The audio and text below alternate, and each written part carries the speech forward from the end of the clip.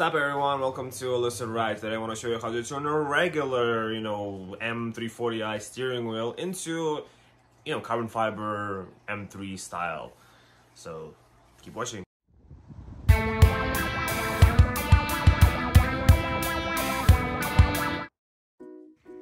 So first things first, you gotta go to your trunk and get to your battery. It's under the cover on the back. Then you will need a 10mm socket just to go in and remove your negative terminal from your battery. This pretty much disconnects your car from any electrical sources and will not gonna cause any issues as you work on your vehicle.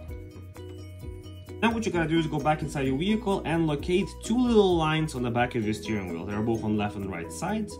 And you will need a screwdriver that has a flat top. So sometimes what people do is they cut off the top of their screwdriver to make it flat or anything pretty much that has a flat head. Because now what you gotta do is gotta make a hole. I know it kind of hurts because you have to make holes in your steering wheel, but that's what you gotta do. And then there's gonna be this channel like I'm showing you here and a rod that you literally have to push and this rod is what it's gonna do is release the airbag. So with a little finagling, you should be able to push on it and the airbag should get into somewhat of an open position, right? So here I'm showing you pretty much where I got to this point where the airbag is released, but not fully, right? So now what you gotta do is just finagle with it a little bit more until the airbag completely releases. Here I'm showing you pretty much how that's done. I know it's kind of hard to see what I'm doing, but what I'm literally doing is go just going through that hole and just trying to push very carefully until the airbag releases, just like that.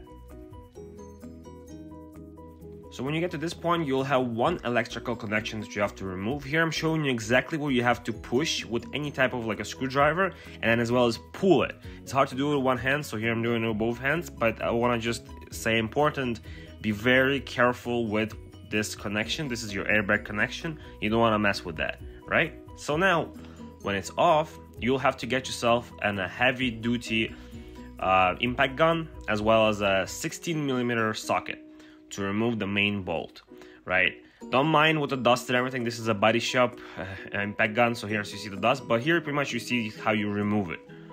After the bolt is off, now you have two more electrical connections that you have to remove, one on the top, just like I'm showing you here, and one with the red and black wire. Both of these are just pullable connections, so that means you don't have to use anything else, you just grab onto it and carefully pull and they're gonna come out, slide out, right? After that, you can be able to remove the steering wheel itself. Now when we have our steering wheel off completely, we can start working on it. Here I'm just showing you a few of the pieces that I'm gonna use to swap with the original OEM trim. Okay, and I'll be starting first with the paddle shifters. Over here I'm showing you the location of two bolts that you have to remove and once you remove them with the T20 screwdriver, they'll just gonna fall off. The paddle shifter is off, you just have to take out the plastic rod, not on a flat end, but you see on a more of a circular end. You just have to use anything sharp and pointy to pull out this plastic rod that holds it in place and once this rod is out, the whole thing will just fall apart. You just finagle a little bit and then, uh, you know, the paddle shifter piece you touch is gonna be off, the control is gonna be separate. Then you can use your aftermarket or wherever the paddle shifter you get, you'll have to be very careful how you align it so that it kind of like, it's gonna like be like these plastic teeth that they have to go inside. Once they're inside, it's gonna become flat and then you're gonna use the, the you know, the plastic rod that you took out originally to put it back in so it holds it in place. So next we have to remove the main trim of the steering wheel. Here I'm showing you the location of two of the screws. They are at the top and left and right side where you have to remove them as well as you can always refer to your replacement trim just to see approximately where the screws that are holding everything in place are. So now we just have to go in and remove two of those screws as well as the screws on the back of the paddle shifters, right? That's why you don't put them back on until we're completely done with the project. You don't even have to remove the wiring connections. They can just be hanging right there, just like that. Here I'm just showing you that I'm removing them. Once you're done with that, there's gonna be a little clip at the bottom that you have to kind of like just pull out the whole uh, trim altogether and few wires that you have to remove. Here I'm showing you one of them and the second one, this one is for the heating steering wheel, if you have that option. Next is gonna be two more screws, just like I'm showing you right here. They're gonna be more towards the left and the right side. And these are the last screws that are holding the top plastic cover in place. So now the top trim cover will just be removed just like that. It's gonna literally fall off. And now you have to remove all the screws that are holding the buttons, the steering wheel buttons, as well as the wiring for it.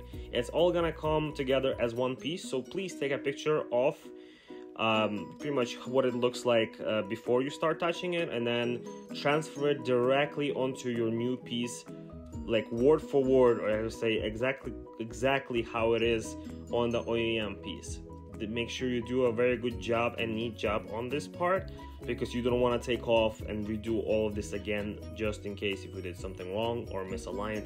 Flip the new piece multiple times make sure everything is on like all the buttons on the left and right side as well as the heating button if you have it Alright, and now you just have to put everything back together. Just remember to put in the top piece, add whatever extra buttons you want to add up there. There's a lot of options of which you can add to the steering wheel at this point and what you can buy. Right, remember to put in your main trim uh, piece back in, all the screws, all the connections that I originally took out, put them back in. Don't forget the back screws right behind the paddle shifters. And once you're done with that, just screw everything in and you'll be all set. Now, when we are back in your car, just remember to put back in all your electrical connections as well as do a good job with that 16 millimeter board. It's, it's crucial because it's the only thing that's holding your steering wheel in place during driving. Now, the airbag, don't try to jam it in like crazy or punch it or anything like that. Be very gentle with it, apply a little bit of pressure, and you're gonna hear that click. It has to be aligned perfectly, but then you'll hear the click and it's gonna go directly in place and you'll be done with that one. So that's it. That's pretty much your steering wheel. I love how it turned out. You can't even tell this is not like an M3 steering wheel. Looks very clean and gives a definitely a big sport vibe to this vehicle interior. But that's it guys, that's how you do it. Hopefully you enjoy this video. Hopefully it's gonna help you out, you know, in the quest to making your car a little bit more better looking than it already is, right? So please subscribe and I'll see you next time.